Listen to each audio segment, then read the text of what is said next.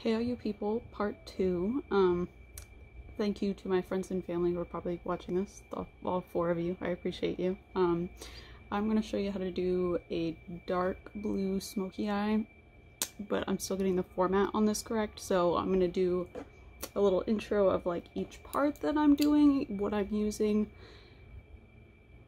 give you my technique for it, do it, and then we'll come back after each step just to not film a 45 minute video. Here we go. One, you're gonna moisturize, which I just completed doing. You should not do like I do because I use a scented lotion. It's not good for your skin, but my skin isn't sensitive, so I kind of just use whatever I have. And then you're going to take a moistened beauty blender and your foundation. And in this case, I'm using Born This Way in porcelain. This is a look where there's going to be a lot of fallout because I'm using dark shades. Um, I'm actually going to take the the foundation and I'm putting it all up here and on my eyes and just right here in this middle part of my face where the makeup is immediately going to be spread just this general area. I'm going to stop right about here because the fallout will be everywhere and I want to be able to just wipe that off and then continue with the makeup instead of having to go backtrack and wipe it off of an already makeup base. It's not going to be ideal. What I'm going to do is put on some shape tape and again since I'm only doing the top half of my base right now I'm just going to put a few dots here and blend it in. Normally I would do this on my nose and under my eyes as well, but we'll save that for later when I do the rest of my face makeup. For now, we're just, again, top half. The top half of my face, we are going to take this uh, CoverGirl Clean Professional. That's totally backwards, you can't see it, but it is in... This doesn't even have a shade, it just says light, translucent light clean professional powder. It's just a translucent powder. Just pat it on. I like to kind of use a stippling motion. Cover that up. And I'm not going to put it on my eyes, obviously, because we are going to be putting shadow there. So we're just patting it down onto the base makeup up there. Brows, we are going to take this little brush and brush off the excess powder from the brow. Bring it back and then we're going to take this Morphe M432 and we are going to pat my brows with a dark eyeshadow. Patting the brows with the dark shade of brown in the James Charles palette just to kind of give it um, kind of a foundation of where I'm going to put the brow gel because I will eventually use this e.l.f. brow gel on top to define it. Basically, I'm drawing in the lines the base of my eyebrow to start kind of giving it shape. Just the bottom half that. And I'm putting the focus of the product on the bottom so I can brush upward and away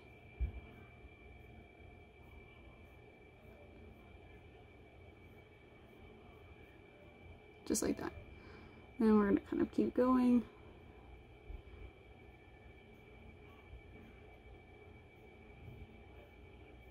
And then I'm gonna use a slightly lighter shade to do this edge here.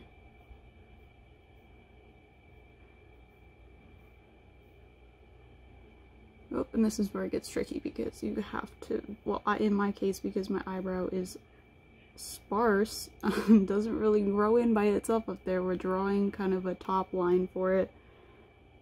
And you don't want it to look goofy.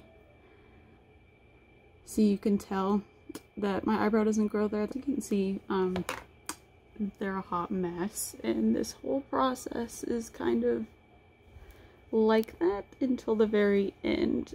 I'm kind of just this is a wet paper towel, by the way, kind of to erase any mistakes that I might make or overdrawing that I might have done.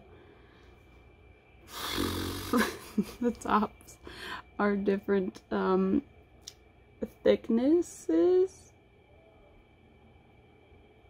So I'm kind of going in and like brushing that one down a little bit. I'm probably going to thicken this boy up on this side. Um, but this is just mid progress. You can kind of see it gets worse before it gets better.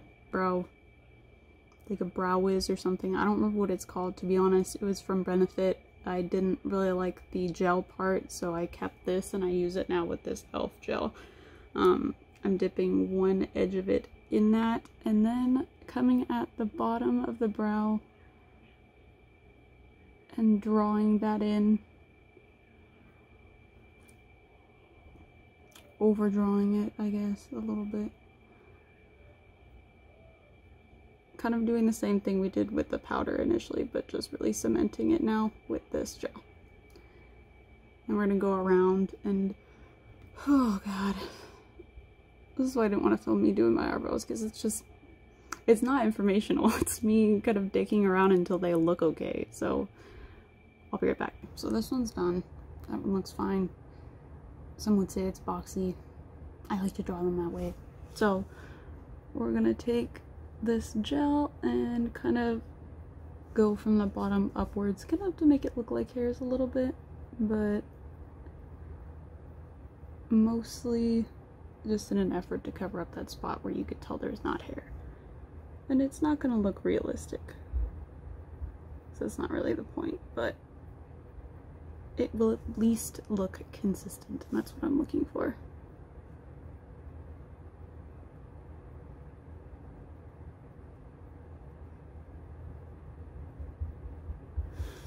I'm mm, serious, it is just me digging around until they look even, at least somewhat.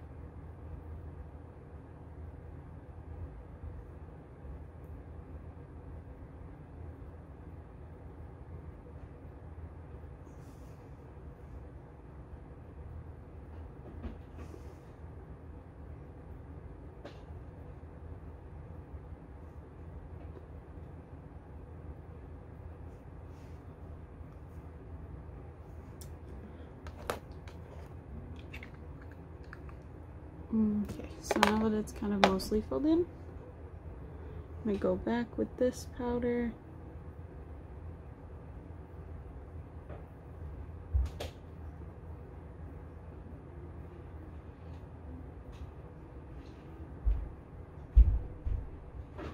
And just fill it in further so that it looks um, not patchy. That's what we'll go with. So this is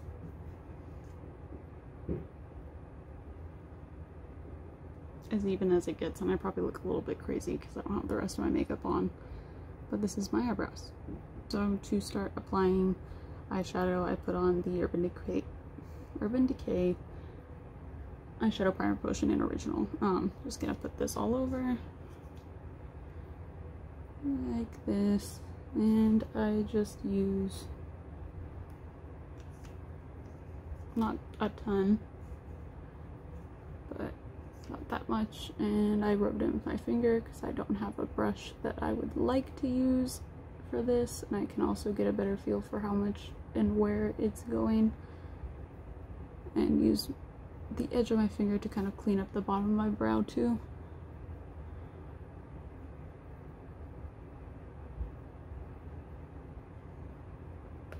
For the brow bone, we're going to take this Lorac Pro Contour Palette. We're taking the light shade again with a big fluffy brush. This is the E27 from Morphe. And we're just brushing that all over the top. Just sort of as a base for my brow bone.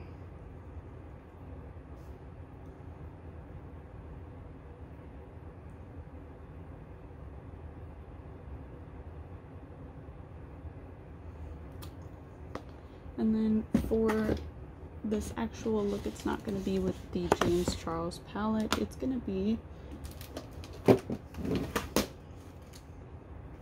the Morphe 35D V. That's really small. You can't read it, but looks like this. And we are going to be right over here this entire time. Going to use the Jaclyn Hill palette and I'm just going to be using the browns here. Probably even this guy too. Um, brown is what we're going to do first because brown is blendable. Black is not super blendable. You blend it into brown, but blending black and blue by themselves without putting brown first, you're, you're gonna have a bad time. So we're gonna start with this guy, then this guy, this guy, then this guy, and then this is black. We'll play with that a little bit later, but first we just need to lay a foundation of brown. So I'm gonna do a little bit of that, come back, show you what it looks like. So, humble beginnings. That's all I have to say. We're to take this e.l.f. brush. It is kind of just a fluffy, blunted brush. Um, makes it easier for blending upward. We are tapping that into the shadow and then onto my eye like this. And I know I didn't put base makeup on just because I didn't want to deal with cleaning up the fallout off of an already makeuped face. Um, but still I'm gonna try not to get shadow everywhere so patting it on helps keep it from getting everywhere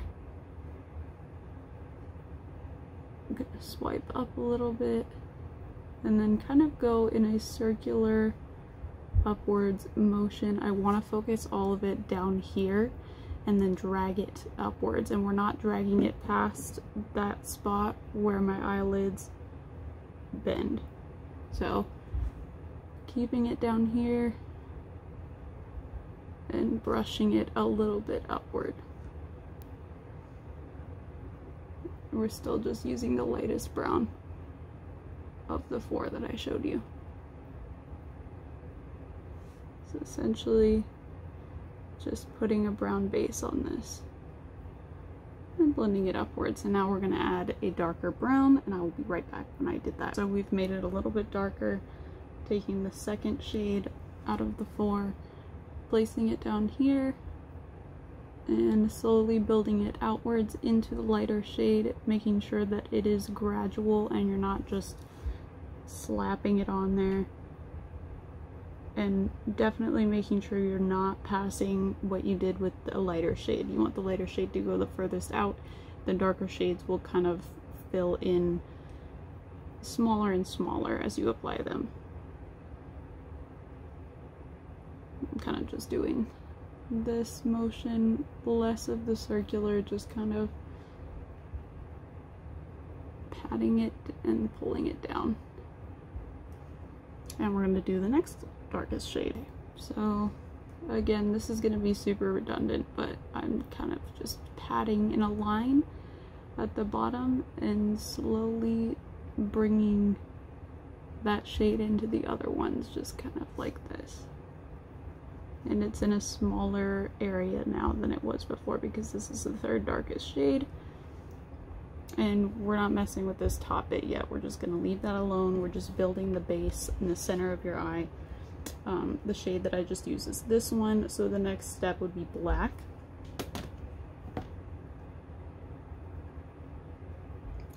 But I'm not going to start doing that yet. Add a little bit more of this.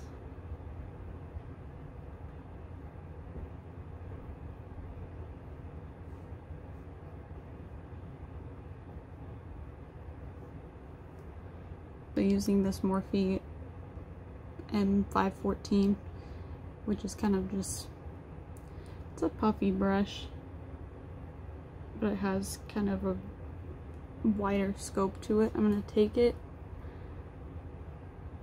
on its side and kind of get the edge bristles at the end of this whole thing and barely touching, mostly just rubbing it on its side and blending these colors further together in the middle, but barely touching the edge of it so that it's kind of blending upwards but not super intensely.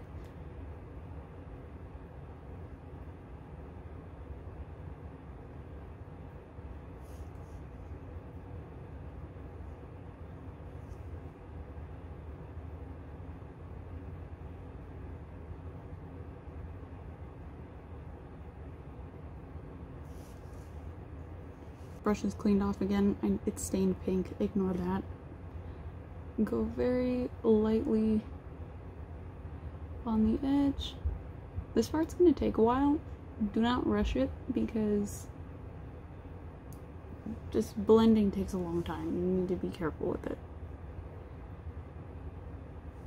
At least if you want it to look even. So kind of we're just taking it along that really harsh line back and forth, little little baby strokes, especially in this corner. So you don't want it to go up too high. This part is where you're going to want it to be out the furthest and it'll kind of come in like that. Again, just slowly blending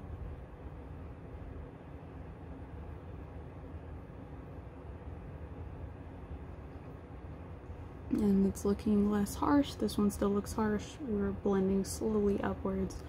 I'm gonna do this one and I'll be right back. Now that they are both muddy around the edges, we're gonna take the bigger brush. It's like that one I was just using except way bigger. Um, it is the M441 and we're gonna take it around the edges and really just kind of buff it out even further so that it's not just that little bit of area that has the brown, we're kind of spreading it out further.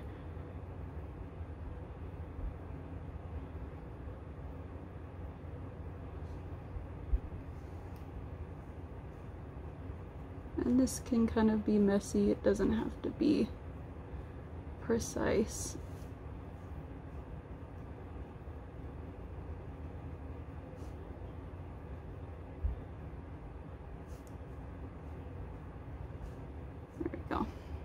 Like that. And then I will also take this again. This is the E27 I don't know if I ever said that in the first place but it's the one we applied the brow bone color with. And we're just gonna buff that out even more. This one kind of is a softer buff than that one I was just using.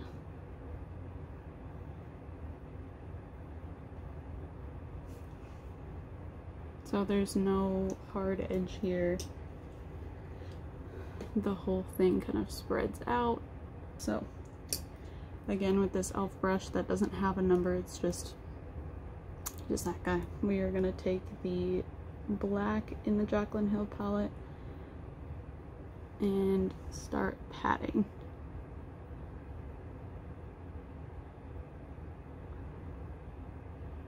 Same motion as before, just patting it down the bottom and brushing it out.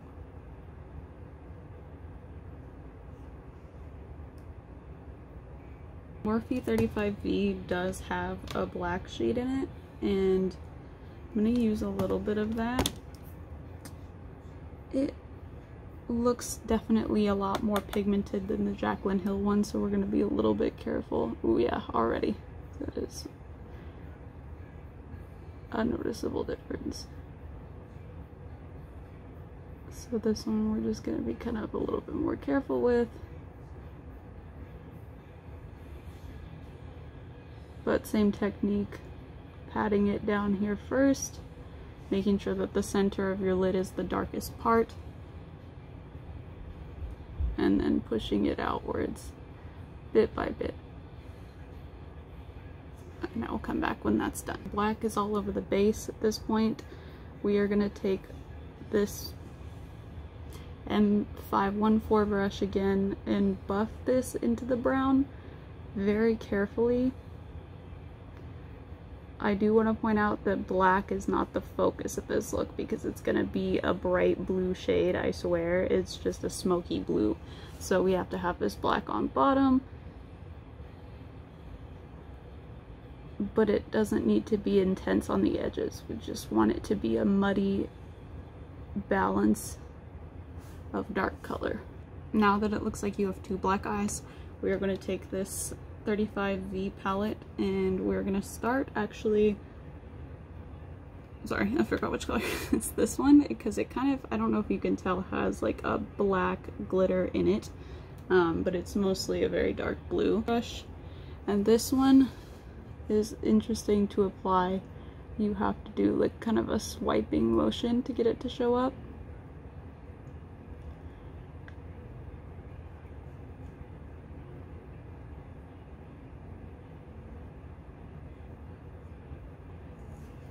and you kind of have to go over it quite a few times. This one, same technique, we're starting down here and well, it's not really the same technique. I'm pushing it kind of aggressively upwards from the bottom instead of patting down or patting and then going down, if that makes sense.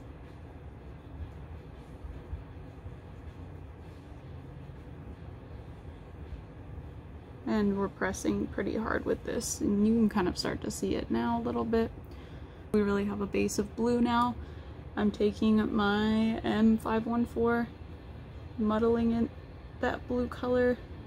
Same one, haven't changed it up yet, but we're going to put this in the crease. Since I haven't really gone into the crease with that other brush, because I want it to be light. So we're taking the edges of this brush and just lightly kind of putting this into the rest of that brown black mixture. Not super hard, but just enough so that your base down here blends into that. And now we're taking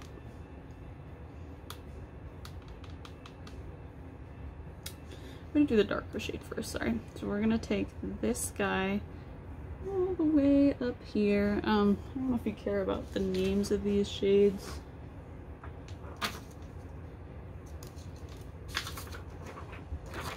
Put it on so I can read it. Um, Room for Two is what that one is called, and we are going to take it.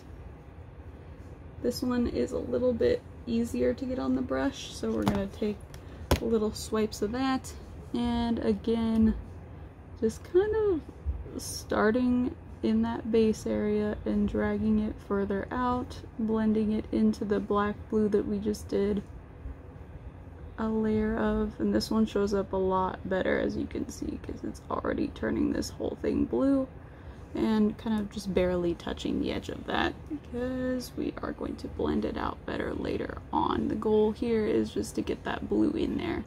Now we're going to go on to Rendezvous, which is this really bright blue, brightest one in the bunch. Same process. I know you're tired of hearing me talk about this, but starting down here and going further out. This one is really the one that I like the most just because it's the brightest. It's kind of like a sapphire blue. But now sorry, take the Urban Decay All Nighter Spray, get some of this on my brush, spritz it, and then take it and put it on the middle because I want this bit to extra to extra be shiny, to be extra shiny.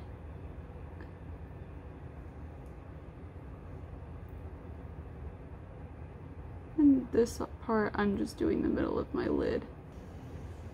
So we'll leave that. And as you can see now, it's like super, super bright blue. So now we have to blend the edges out with. Let's start with precision. So we're to go with this guy, wipe it off a little bit because still has that darker color on it. And buff the edges out ever so lightly. So blue blends into that ether, that we'll call it. that is the top half of this look that we've kind of had been building up on.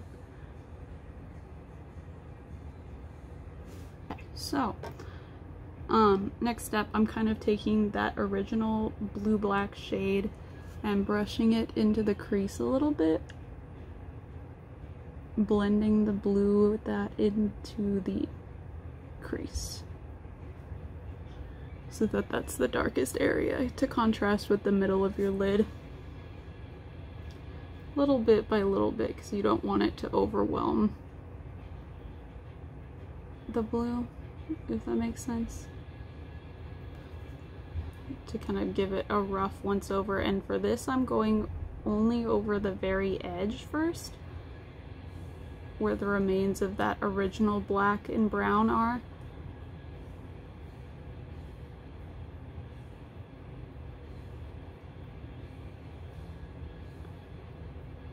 dragging that out farther than it was.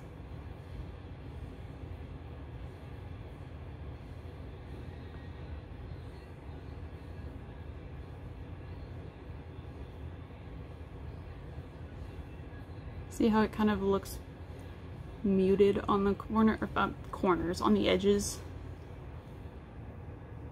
And that's really the key to making this look messy but neat at the same time, is just the careful blending of that outer edge. Keeping that brown and black in play, but making sure that the blue is the focal point.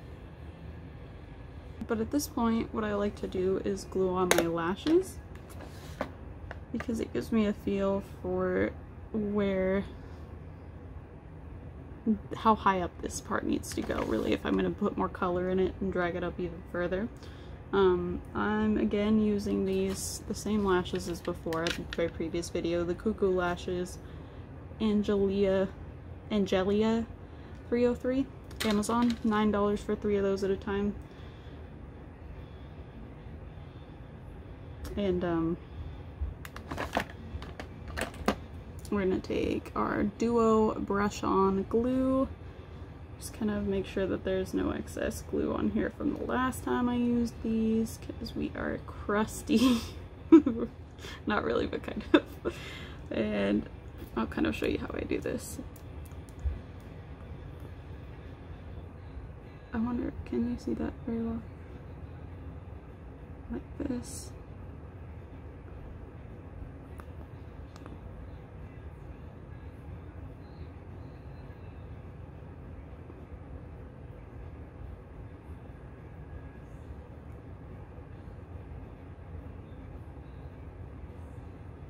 Okay. I don't know what's with that bump in the middle. I don't know. Got it though. Okay. So, wave this guy around.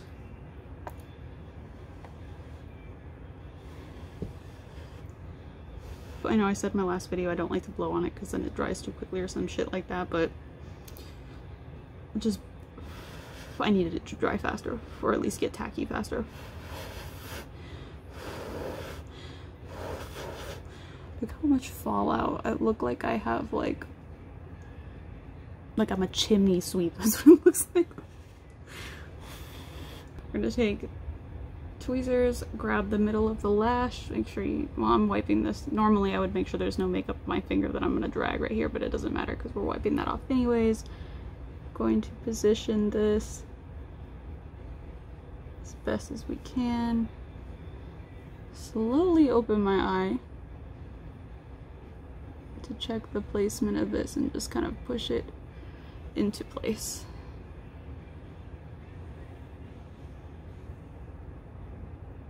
And I've already worn this lash several times, so I kind of have it fixed in such a way that when I put it on, I know exactly where it's going to land and where it's going to stay glued.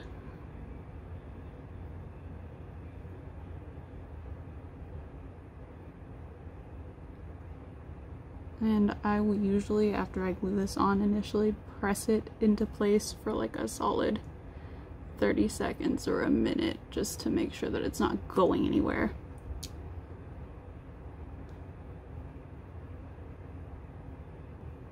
Okay, so that is pretty much glued in place. Um, while that dries, I'm going to do the other one, the same technique, and I'll be right back. So these are both glued in place and I turned my lights down a little bit just so you can see kind of where the lashes are versus where the shadow ends. I don't know if this is helpful at all for being able to tell the difference, but it kind of stops right where the lashes stop. So then I want to blend my shadow up a little bit further personally. That's just how I like to do it. So we're going to take this big fluffy brush again, the E27. I keep wanting to say it's a 5 something, but it's not. Um, and out of our blue shades, we're going to mix together the darker one with the black in it and then the darker of just the blue. So we're going to tap that just a little bit and then tap that just a little bit and then put that directly in the corner and buff it into the edge and upward a little bit. And remember this side part is going to come out further than the inside of your eye. So the bottom of my face is clean now. I don't know if you can tell.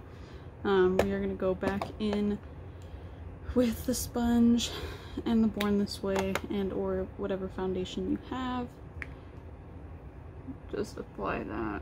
Okay, so foundation is on. We are going back in with Shape Tape and doing, like I said, I was gonna do not so much product, but tapping it in right there and then on my nose and down here. And just kind of covering some blemishes. Blending this in okay so I just really put this in the focal points of my face to brighten it up obviously this is where the light is getting focused now we are gonna go back the 35B palette, um, which is the older Morphe Rainbow palette. We're going to take this shade that I've used a lot of. Um, it's shimmery blue, so you want to spray it with this setting spray to make it stick and more be more shimmery than it would if you didn't spray it, but you have to be careful when you spray it because it causes it to be really blunt when you put it on if you don't do it slowly, it's gonna look crazy.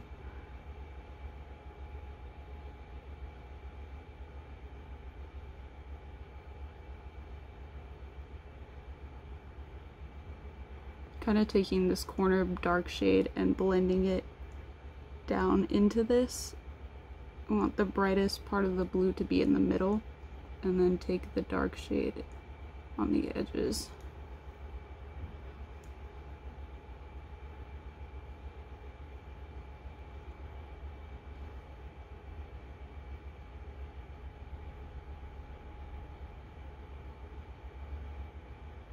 Just kind of gives it some depth and blends the whole thing together. Just do that on both sides. It's done. I like to take the Fenty Beauty uh, Match Stix in confetti, which is kind of, I abused it because it's, it's blue on that side, ignore that. It's like a purple rainbowy highlighter stick and I kind of take that and draw it over the center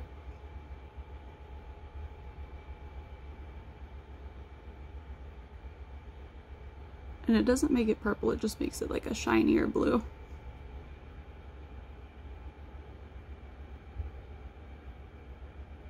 So that that middle section really stands out. Top this whole thing off, we're just to take the Maybelline Colossal Volume Express that has hair stuck to it. Ignore that. And just put that everywhere. That whole eye look is pretty much done. I'm just gonna go back in with this Pirates of the Caribbean Lorac um, highlighter and blush palette keeping the focus of that in the corner here and building up outwards. Take this fan brush that was the M523 by the way in case you I know I didn't say that. Um, this one doesn't have a name, it's just a fan brush that I got off Amazon and then the Lorac Pro Contour palette again with medium contour. And I like to kind of draw it upwards from the corner, like in the center of my ear, in a triangle going out into the center of my face. And then take the darker shade Deep Contour, as it's called, and do a smaller triangle right in the center of that just to give it dimension.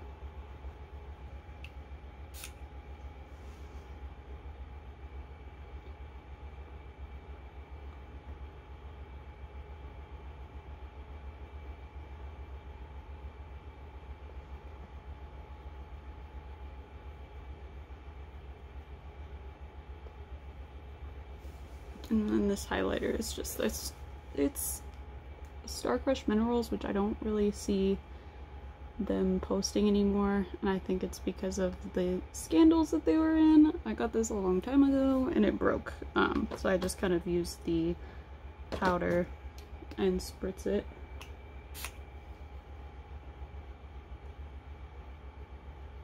which makes for an intense highlight, but I feel like it goes with this. And that's the whole thing. It kind of just goes from this really dark brown splotch into bright blue.